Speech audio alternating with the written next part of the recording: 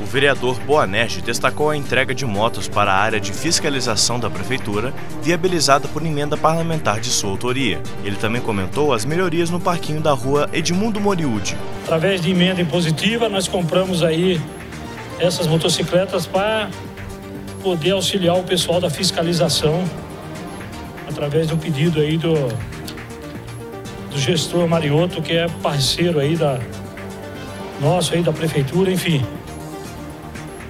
Estivemos lá para fazer a entrega, fazer as fotos. Ali na rua Exaltina Ribeiro, acho que nós temos fotos aí, ali no cruzeiro da rua Exaltina, Exaltina Ribeiro com Edmundo Moriúde, né? Ali no comecinho.